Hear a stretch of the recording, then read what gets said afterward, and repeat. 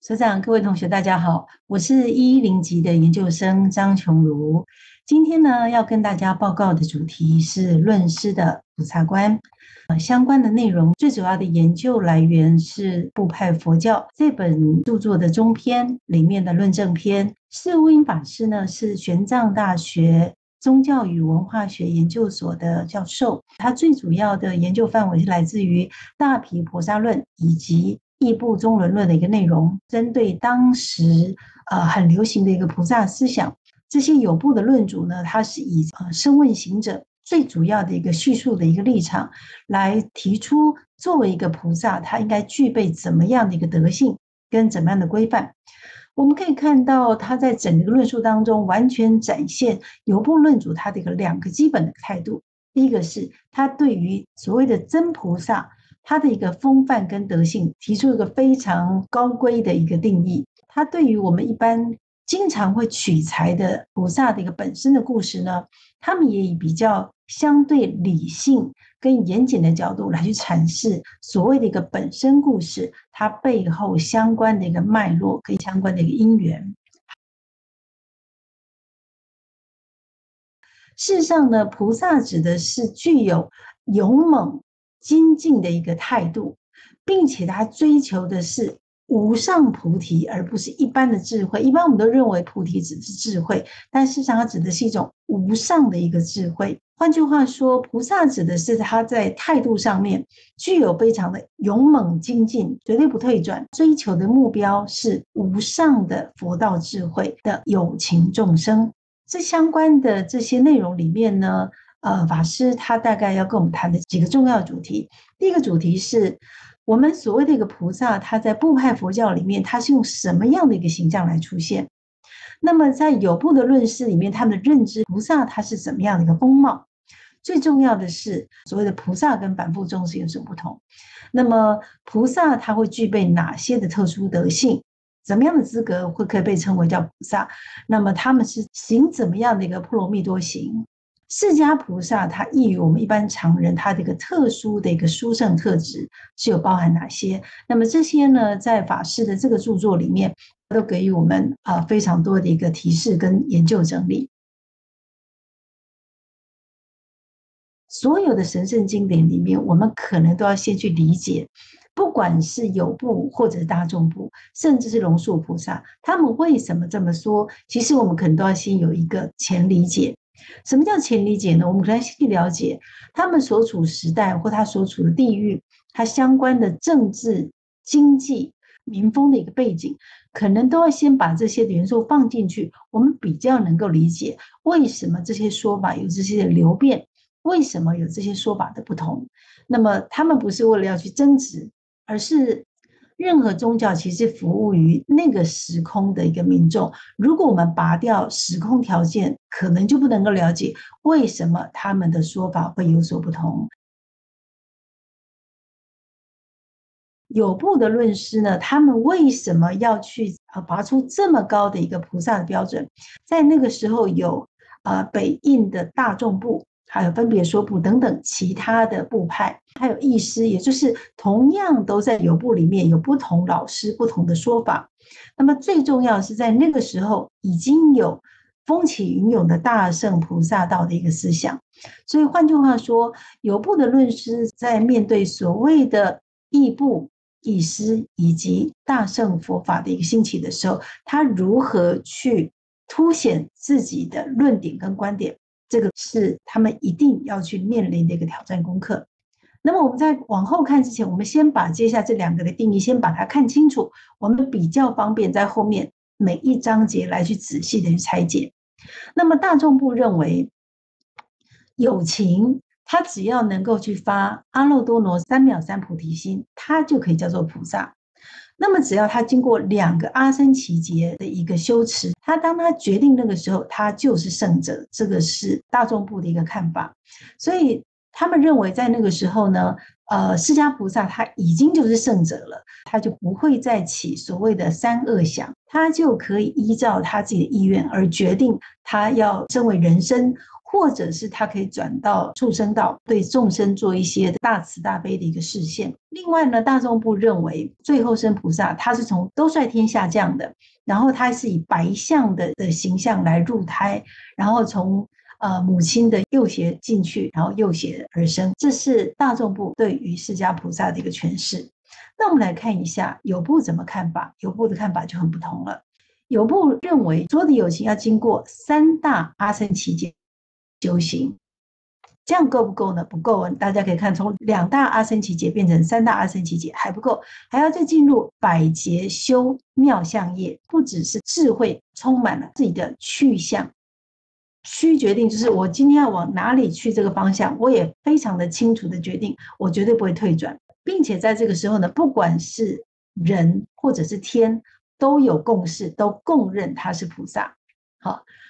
然后最重要的是，他还要有得五胜事、舍五劣势，这是什么？待会儿后面我们会说，这样子才能够称为叫做真菩萨。好，那真菩萨是不是就是最后生菩萨？不是哦，大家可以看见，在有部的认为里面，即使有这么多的条件叠加上来之后，真实菩萨他还是凡夫。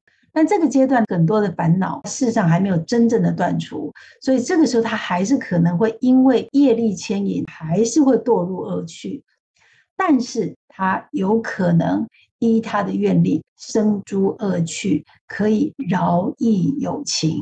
我们在这里就看到了两边有一些不太一样的地方。大众不会说菩萨是不会再有起三恶心，那但是我们看到有部认为他要到一。第四境律起暖顶忍世，他能够入正性离身，并且以三十四心断一切烦恼，这个时候他才真的是叫做圣者佛陀。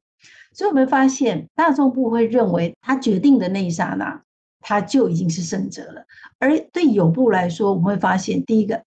两个阿僧祇劫变三阿僧祇劫，还要修妙相业，在外相上面是不同的，在态度上面要很清楚的决定，人跟天都要达成共识，同意你是真菩萨，并且要有得五胜事、舍五劣势，然后呢还要再继续修到入忍位，然后再依第四境律起。暖顶忍世起三十四心，这些层层叠叠上来，它才叫做圣者。大众部认为，菩萨呢是在入胎的时候以白象的这个形入啊母亲的右胁啊，然后从右胁而出。那么有部怎么看待这个部分呢？后面也是作者他要跟我们做仔细讨论的一个重点。有部他讲这么复杂。这么层层叠的上去，跟大众部的观点不同，为什么呢？事实上，有部的论是他真正要去对峙的，其实是在那个时空底下，有一些十非菩萨对于自己有一些轻慢心跟骄傲心，认为自己非凡，他的德性跟修行事实上是还不到位的，认为或施一时，或或持一数戒，乃至思维一四句诵，便得必果。哇，好简单，有没有？然后或者是说，这些声问，只要他的很立根，只要经六十节就够了，好。然后或者是独觉极力跟者经百节就可以，哇，那这个就真的是时间相对少很多了，哈。所以呢，有部论师会。对峙于这些把条件做得这么宽松，甚至会觉得自己高人一等。有部论是真正他要去对峙的，要去对话的，事实上是这些人。那么菩萨道跟整个部派佛教中间的学理脉络到底什么关系？这也是作者他希望能够跟我们做很清楚的探讨的。在大乘佛教里面，菩萨的身份到底是以人菩萨为主？还是以我们印象中的天神外道或者夜叉这些菩萨为主。菩萨断惑正真，到底要经过什么样的一个次第？到底是重定、重禅定，还是重慧？这中间呢，差别在哪里？那就跟大圣佛教里面菩萨到底代表什么意义，那就有很大很大的一个参考价值了。作者在讨论这一部分的菩萨观的时候，他以七节来做讨论。那么这七节呢，包包含到第一节里面，他探讨的所谓的一个菩萨的定义，怎么样的有情众生才有资格称为叫菩萨。那么在第二节呢，作者就要跟我们讨论了，菩萨到底是圣者还是凡夫？那么他入胎的时候形式是染还是净？入胎、出胎、住胎是一个什么样的一个形式？这也是在第二节会做清楚的讨论。那么在第三节，我们要讨论的是大众不会认为菩萨其当他下决定，他就已经圣者。而有部论师认为，其实到很后面的之前，他都还是凡夫。那我们就要问了：凡夫到底能不能够断欲贪跟嗔恚？他会不会起三恶相？有部认为可以，而画地部跟譬喻师会认为不行。那这里面到底差别在哪里？可以跟不可以的差别限定在哪里？这也在第三节会做清楚的讨论。第四节菩萨这样的一个大愿力，这背后到底是一个怎么样的一个原动力？就是我能够证悟了，而我依然会愿意留在人间来去行我的菩萨道。那么这个义无反顾的背后，到底是来自于什么样的动力？这个也是我们在第四节会去讨论到的。那么第五节的话，就是针对有部的论师，透过大比菩萨论对于菩萨产生定义。龙树菩萨透过大智度论，他有非常多的一个挑战跟突破。进入第六节，有部的论师在他们的观点里面，菩萨他具备人间佛教行者的这个很鲜明的色彩，会在第六节做清楚的呈现。而在第七节当中呢，从四个主题来去做一个相关的收束。纲要的一个讨论，就我们现在一节一节仔细讨论。我们先来看一下第一节菩萨的定义。在大众部会认为菩萨有凡夫有圣者，那在有部会认为菩萨都是凡夫。就刚才一开始有谈到，大众部呢会认为两大阿僧祇劫的一个努力哈用功，那么有部会认为三大阿僧祇劫之外，后面还有很多很多很多很多。好，那我们先来看一下三大阿僧祇劫到底是多久？成住坏空其实就是一大劫，三大劫是三次的成住坏空。那么三次成住坏空，如果换成我们现在年限来说，是三十八亿四千万年。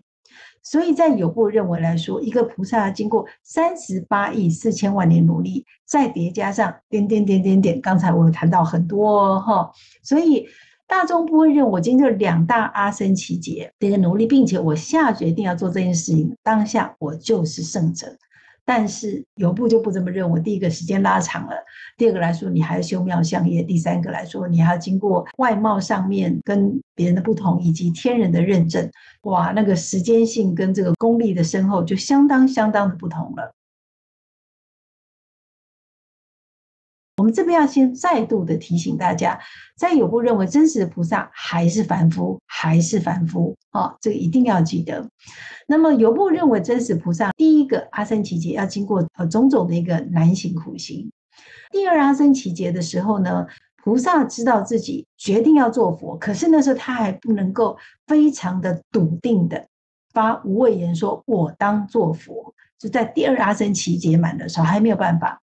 第三无数劫满的时候，他已经修了妙相业，并且知道他来世决定当作佛。在那个时候，他会发无畏狮子吼，说：“我当作佛。”这是前面有部讲的，不止我今天我功夫时间做足了，功课做足了，我今天我心里决定了，而且我敢非常无畏、勇敢、坚定，绝不退转，对外宣誓。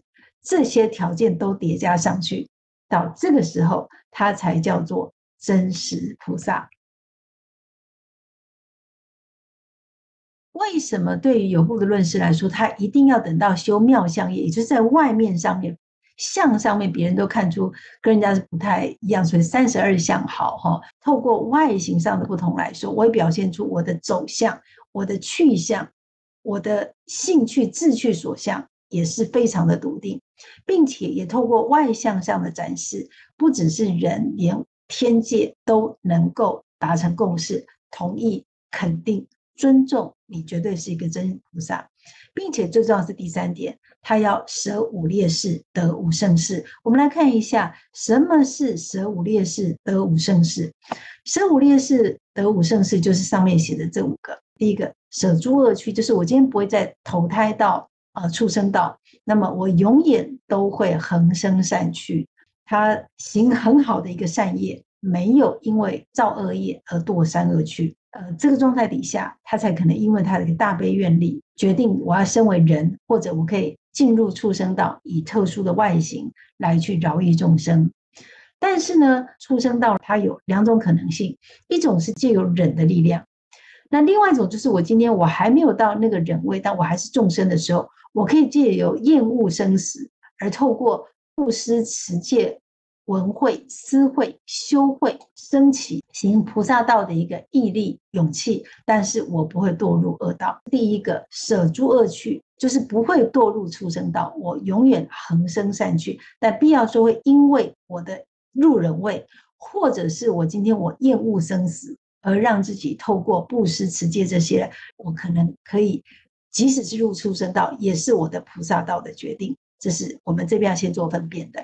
那么接下来看一下另外的四件劣势跟盛世是什么？舍下劣家，恒生贵家，就是说我今天永远都会生在富贵之家。那当然最重要，这里面有两个原因。第一个是在当时来说的话，印度有种姓制度的一个观念，对于一般老百姓来说的话，大家都希望是生长在富贵人家嘛。就告诉你行好事的话，那你都会。这个生在富贵人家，这当然对大家是有鼓励作用的。同时，他也告诉大家，这种因缘果报事实上是真实不虚的。这第二个，第三个是怎么样生都会是不会是女子生，而是男子生。那么这里面它有分作两个角度。第一个角度来说，在声问佛教的时候，他们认为女众有五爱，呃，女众没有办法做转轮圣王、释天王、摩天王、梵天王或佛，这是那个时候的看法。但是在大毗婆萨论里面，他们就不把这个男生解释为男性或女性，而是大丈夫做大丈夫，那么就会得大丈夫相，大丈夫大气度、大作为的概念，而不是男女生物性的一个性别，那去彰显菩萨大无畏的求一个求道精神。对于很多女众来说的话，其实我们心上的心上那个微妙的不舒坦，那于是我们就得到了平衡了。那最重要第四点就是说，呃，所有的菩萨来说，还有一个特殊点，就是他的这个诸根圆满，而且他的六根猛力，他的各种的感官敏锐，都胜过于一般的众生。那最重要的是，他呃能够远离种种有情的各种的过失，然后恒得自信生念。那么接下去我们来看一下大众部跟有部就非常的不一样。那菩萨到底是圣者还是凡夫？大众部认为菩萨是圣者，他是发愿入畜生道。一般的凡夫跟圣者来说是两种完全不同的游戏规则。但是有部认为菩萨是凡夫，菩萨是不畏业力，并且他是基于自己的勇猛精进的一个精神，他是发愿自己发愿。往生恶趣的，那当然到这里，我们就会明白，其实要讨论的是讨论我们一般所常听到的所谓的本身的故事。那么在本身的故事里面，我们经常看到释迦菩萨他以动物的一个形象来呈现。我们一般都认为这些动物所谓的恶趣，那既然他是菩萨，怎么会有这种动物的形象呢？那大众部就是说，是因为他是圣者，他是圣者的话，他可以发愿入恶趣。但是有部说不是的。菩萨还是凡夫，但是他是不为业力，他发愿去的，那这就很不一样喽哈。你是凡夫，可以继续做人，你还愿意发愿入畜生道，以动物的形象，那那显然就真的更了不起了哈。这个作者他提出了大众部跟有部，他们各有一些值得讨论矛盾点。那么大众部他有谈到一切的菩萨是圣者。所以他不会起三恶想，他得正三果。可是如果说他已经不起三恶想，远离男女情爱的话，那么为什么释迦佛他还娶妻生子？我们都知道他有一个儿子，在大众部他们里面有提出个主张，就是菩萨是正者，他以不污染心。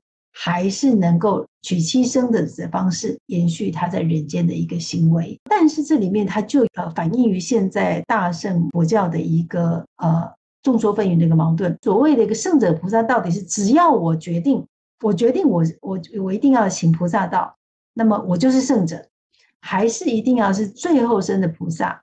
但是菩萨为什么可以呃转？为什么可以娶妻生子？那在有部就不会有这困扰了。有部说得很清楚，菩萨他还是众生，他还是凡夫众生，所以当然他会有预想，在这个矛盾点，在有部就不会呈现。那么有部的矛盾点在哪里呢？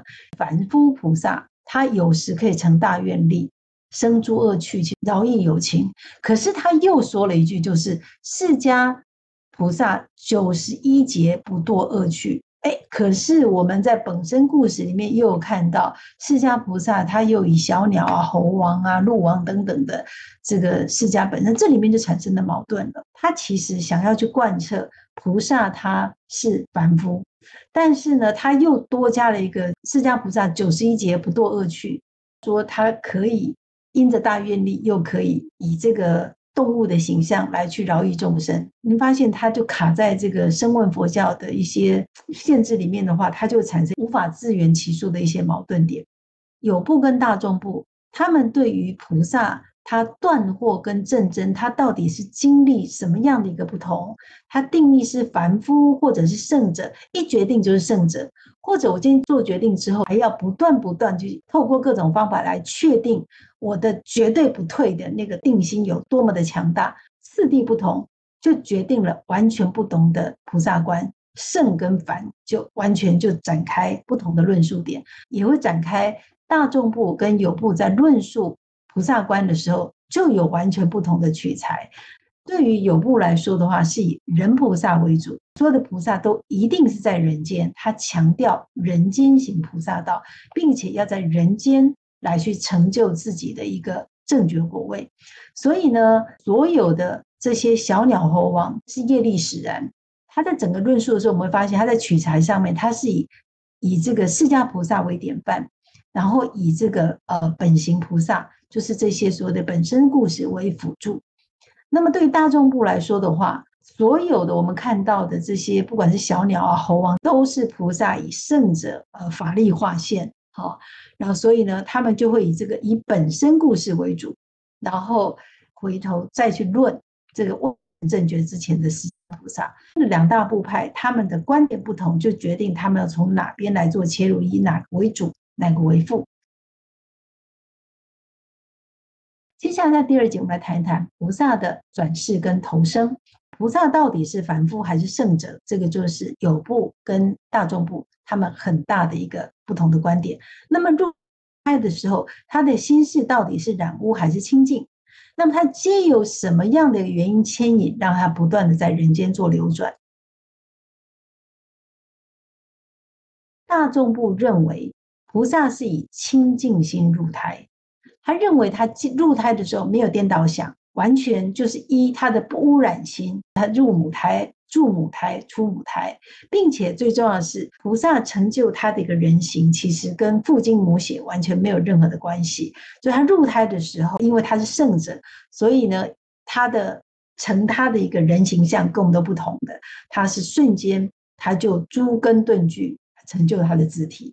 那么对有部来说，他认为菩萨就是凡夫，所以他当然就像我们一般的人一样，是以染污心入胎的。虽然他有亲爱之情，心有染污，但是是以正知入胎。那这个就是菩萨凡夫跟我们一般凡夫的不同，都有染污心，但是他是以正知而入胎，而我们凡夫并不是以正知入胎。因为是众生，所以在有部来说很清楚的主张，就算是菩萨。也是要透过父精母血，透过正常的这个细胞分裂的模式，然后让猪根渐次成长，并且还是要经过一般正常该有的呃外境条件，才能够成就形体。那这里面我就发现了一边很神话，好跟人没有关系，这大众部。那对有部来说的话，他还是反复，只是说他入胎的时候是正治入胎，但所有形成他。呃，有这个人体的形象，都跟我们都是一样的，该有的生物的原理，它都是一样的，没有任何的神话在里面。那么接下来我们来讨论所谓的白象。大众部认为，就是呃，菩萨入胎的时候，就是以呃白象的形象去入母胎，而有部很清楚的表达，并不是的。好，为什么呢？因为第一个，菩萨是九十一劫不堕恶趣。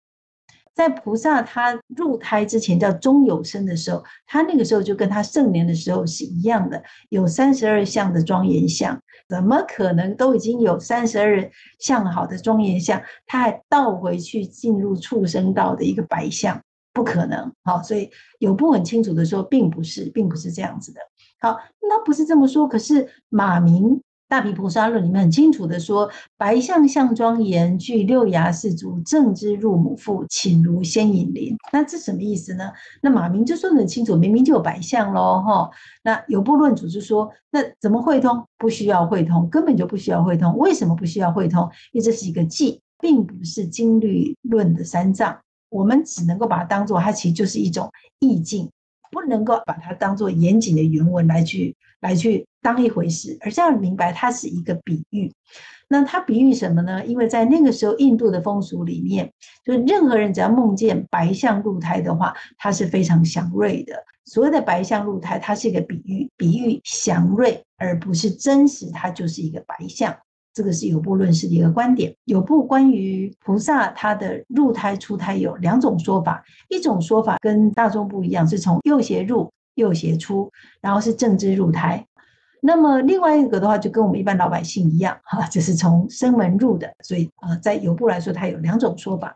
那么大众部主张，它没有所谓的一个中有的形象，菩萨入胎的时候，就是以白象的方式入胎，从母亲的右胁入、右胁出来表示，其实就是菩萨就跟一般人不同，非常的吉祥，非常的清净。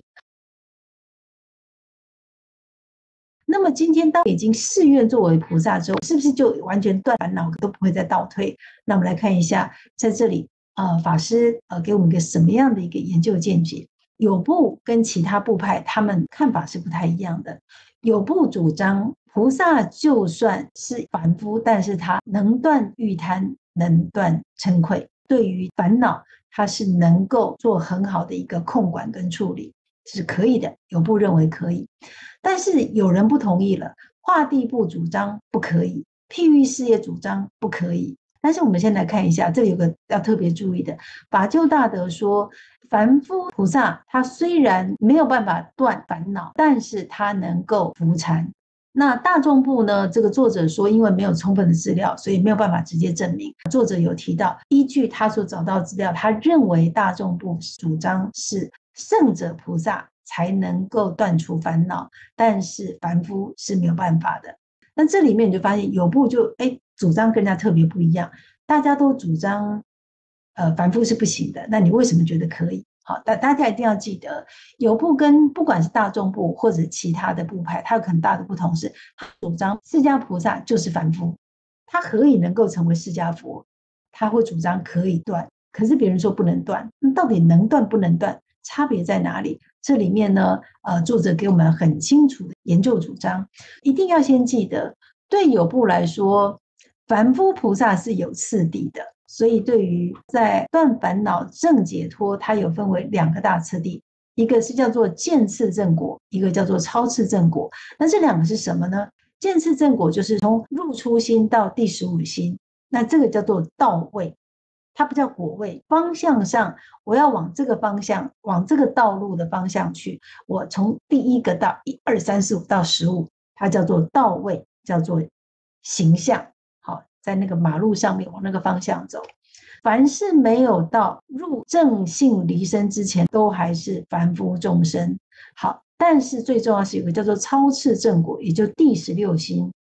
到这里的时候呢，他就进入了所谓的果位。对于有部来说，他主张能够断除烦恼、降服我们的烦恼，指的就是第十六心，并不是说在入初心等等等，他就能够做到。他是要前面十五个到位都修满，进入完成第十六心的果位，进入超次正果这个阶段的时候，他才具有这样的一个功力。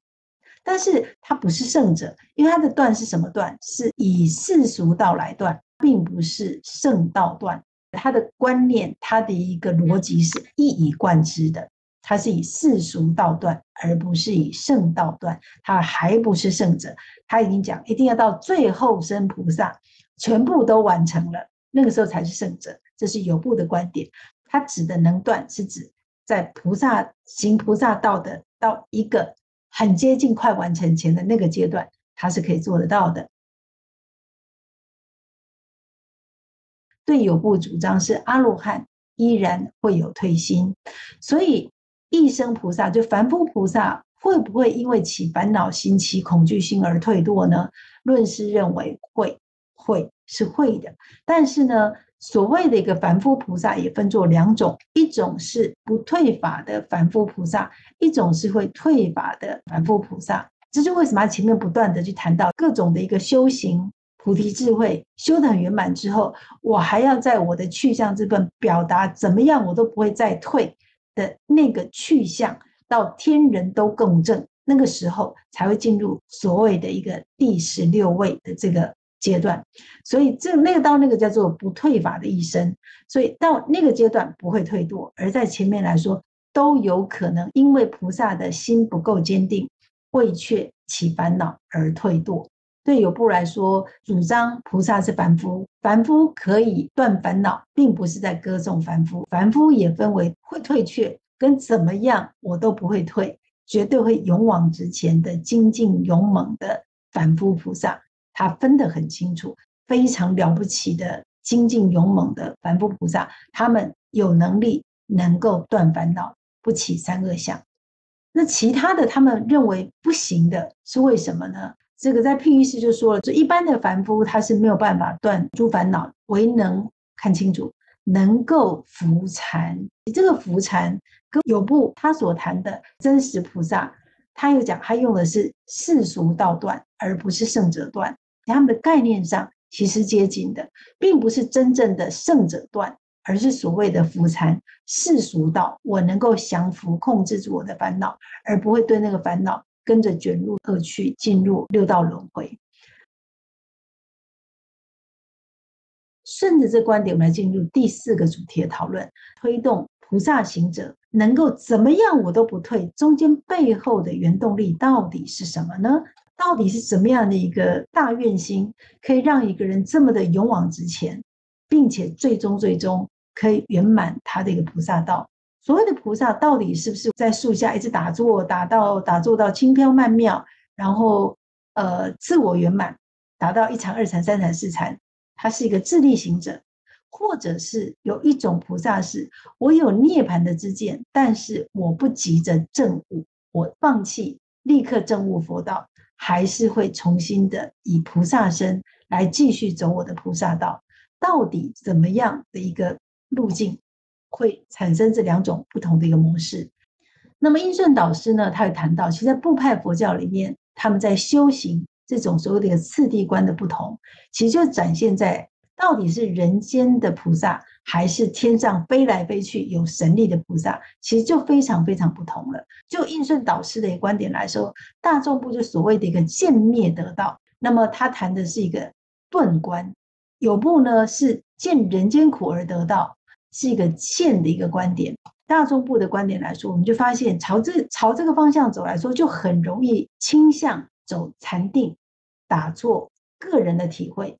走这条路线的来说，他会喜欢走涅盘至禅定的方向，倾向自己在这边打坐，去进入这种生定状态，他自然不会去走入人间去做阐扬佛法的这个行动。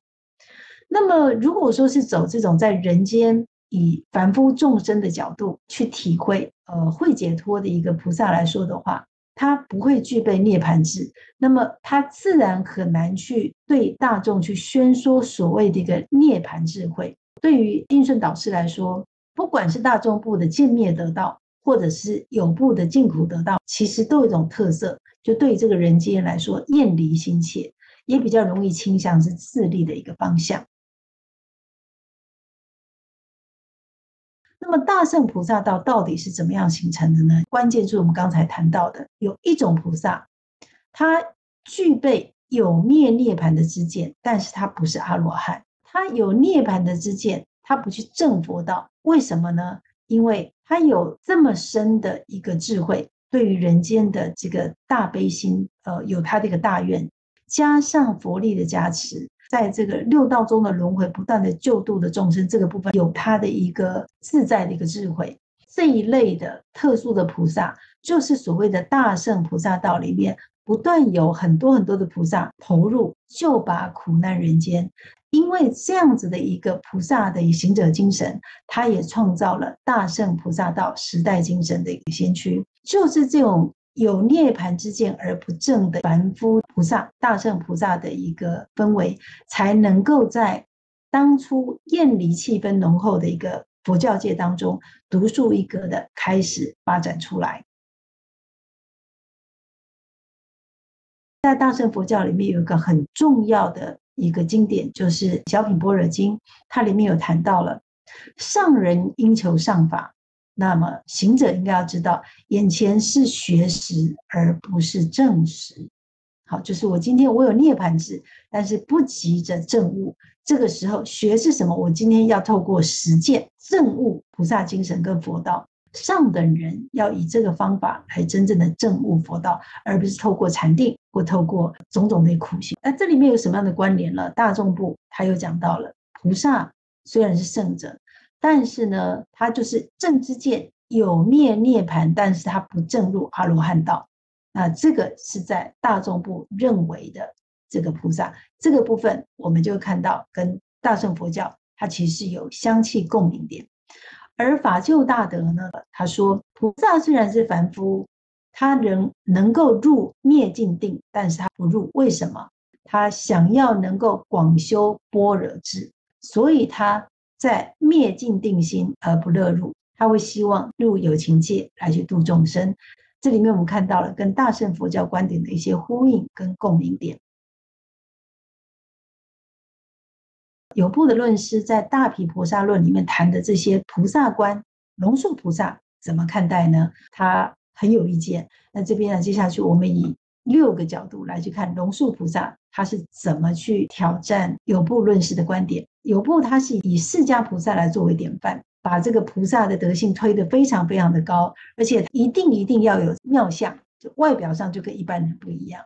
龙树菩萨不以为然。龙树菩萨认为，就是其实只要能够具大誓愿，心不可动，精进不退这样的内涵，就是菩萨。没有一定要在外向上面来去做要求，这是龙树菩萨的第一个挑战。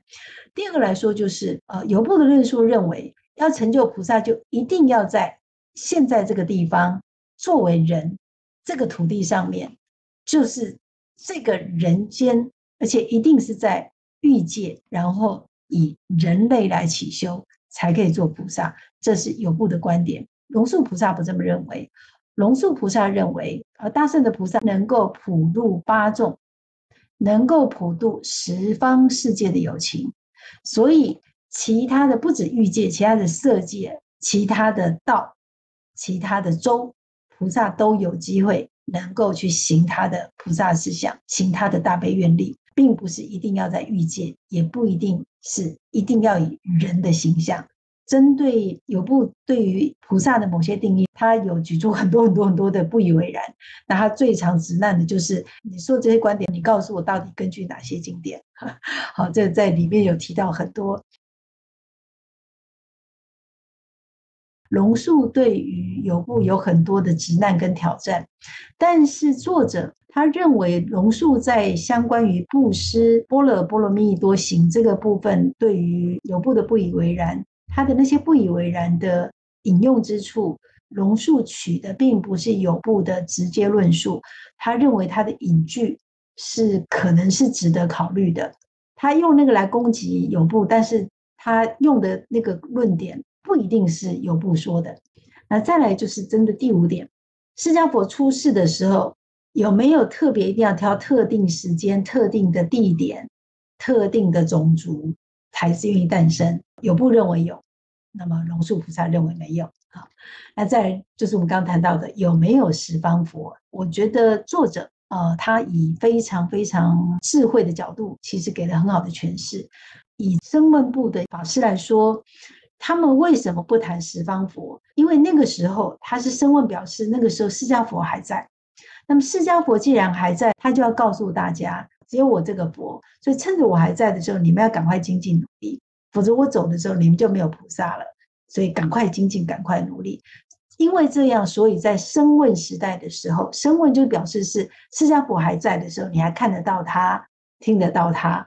既然看得到他，我就告诉你，趁着我在，你赶快努力。我走了都没有人，那我就告诉你，没有十方佛。可是对于释迦佛离开几百年之后，面对都看不到释迦佛的一般的信众来说，法师就谈到了，万一。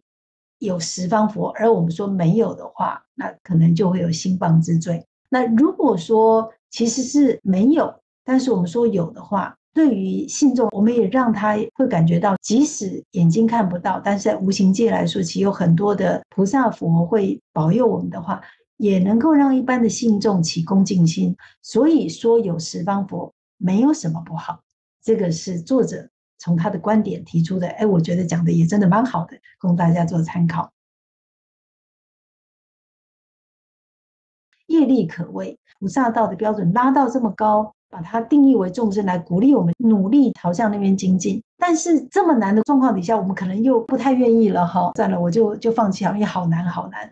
于是就有所谓的易行道的这个观念，可是就会让有部论师觉得大家都太随便了，甚至行了这种轻慢心。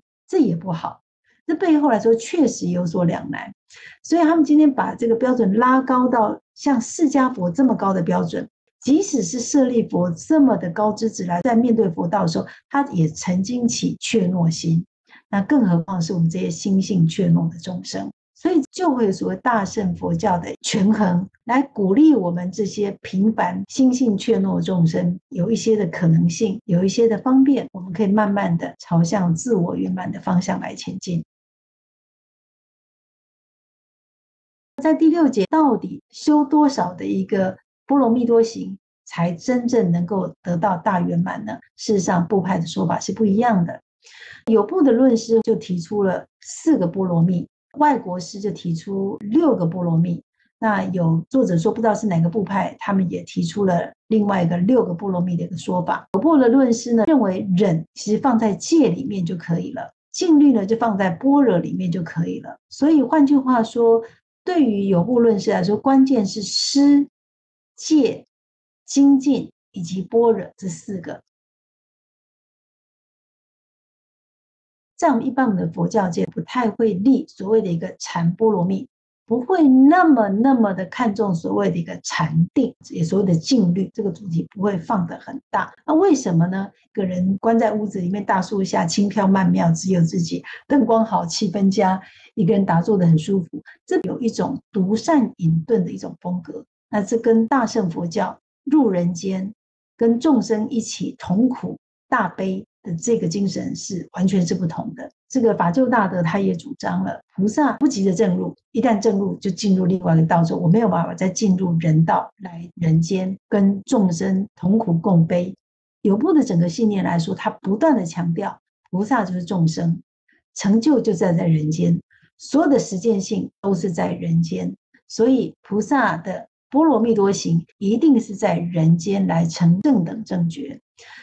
我们可以很清楚看到，有部他赞叹人间的优越性，他也强调佛教一定要在现实人间的实践性。所以，对有部来说，所有的菩萨是在人间圆满菩萨道，也在人间成佛，这是有部很清楚的一个态度。那么，对于有部的论师来说，菩萨怎么样才能够圆满呢？烦恼尽除得尽致的时候，就是他圆满四波罗蜜多行的时候。不管怎么叙述，他都不会抽离人间成佛的这个观念。有部非常非常的赞叹，强调人类具有勇猛意念犯行这样的一个特殊性。那这个。是在其他诸天没有办法有的一个条件，所以他有个特别的观念，看清楚了。人间在天来说，它是善处，人间是非常殊胜的。身为人类，是其他天界没有的特殊条件。那么，可在人间的话，也有所谓的胎卵湿化。那为什么选择胎生呢？那么我们要记得，就是在有部他们那个时代，释迦佛已经不在了，所以呢，他们有一个弘扬，就是大家要去供养舍利，也就是释迦佛的身体留下来的有形有相的一个物质，见那些舍利就如见佛。但是大家想，如果说我今天选择胎卵湿化的话，我也能够呃成佛的话，那那就没有佛舍利，那我现在拜那些舍利就很奇怪了。所以他会坚持菩萨，他在投胎的话，他就是以人类的人的胎生，啊，这个是整个的一个观点。所以有部论师说，菩萨是凡夫，这句话并不是污蔑或者是低贱释迦佛。第一个，他先界定人类在天界来说也是非常棒的、很优秀的、很善美的地方。而人类能够成就自己的某些特殊德性，在天界是没有的。所以，如果今天你要证得佛果，就要在人间；不在人间，没有证得佛果的可能性。这就是有部的观念。所以，我们再看一下，在最后，作者他又从其他的杂类里面，以四个主题。来去再重新的再去收束阐述有部的论师对于菩萨的一些观点跟诠释，他都要讲同一件事情。对于有部的论师来说，成为菩萨，思想智慧很重要，但是在人间勇猛精进、不退堕的实践，这两个东西要并行，不可以分割。没有人可以会解脱。也没有人禅定解脱，有智慧有禅定，但是你要来人间做人，在人间成就，这个才是真正能够证得佛果的所有可能性。所以我们可以看见，这个他非常非常的一贯，他以这样的方式来去殊胜凡夫肉身的那个释迦佛。并且也凸显了释迦佛的一个不容易，因为如果今天是一个圣者，我有特殊法力，我决定我要投胎做人或畜生，这很容易。但是我还是一个具有烦恼心的凡夫，竟然不怕做畜生，而且我还敢再投胎，那这比圣者还更是了不起。所以会看到，其实有部的论师来说，他以这个角度来去赞叹释迦佛，而不是以凡夫为鉴。这个是一个他们很清楚的一贯态度，这也是这一宗的学说一以贯之的一个态度。释无因法师他也谈到了，其实整个一部的论师，他透过大毗菩萨论谈菩萨观，确实是有两难。其实他整个菩萨观，呃，确认跟阐释，是为了去处理其他的部派。或者不同的老师，以及当时兴盛的大乘佛法，还有当时有一些把菩萨的成就，他认为处理的很随便的，他是希望能够破这些人的不正确的观点，而彰显确认他们这一派的立场，以及对于释迦佛的彰显跟崇敬。他们其实要谈的就是现实人间，现实人间，而不是一个在天上飞来飞去。可以保佑你，因为是既然圣者跟人就没有关系。但如果今天告诉你释迦佛也是菩萨的话，你也是佛，他其实讲的是这个话，他中间有这样的一贯性。但是阐释的过程当中，或多或少也会有大圣思想渗入在里面，好统摄这样的概念进去，那才会让龙树菩萨说，你不断的说的那些八十种好，经历论你是没看到的。那我们如果能够理解。那个时代，他们面临的为难，以及他们希望能够唤醒的，或者是能够去凸显的背后，其实对释迦佛莫高的崇敬，赞叹他那样的一个勇猛精进跟绝不退堕的了不起，这是一种赞叹，而不是一种对众生的为难。那么有部论是他真正的企图，其实他严谨的去界定真正菩萨的风范。他其实要告诉我们的是，释迦菩萨他真的是人世间非常非常稀有、非常难得的行者，有苦恼心的一个凡夫，他能够在人间成佛，并且就把我们这苦难的众生，那最后他自己证得解脱。他就算已经有这样的智慧了，他依然愿意以这个俗世的热忱来到这么殊胜的人间。以可以有特别情怀的人类的形体，终究在人间完成他的佛果，这是有部论师完整的主张。从部派佛教有部论师的观点，到大乘佛教印顺导师告诉我们，在生生世世当中，能够勇猛精进的求无上佛道的这些菩萨们，他们其实是为我们开展大乘菩萨道很重要的活水泉源，也是大乘佛教兴起很重要、很重要的一个精神指标。这是今天跟各位同学以及所长所分享的，中间可能有个人的知识不是很到位，或者阐述不是很清楚的地方，也请所长、各位老师、同学提出指教。谢谢大家。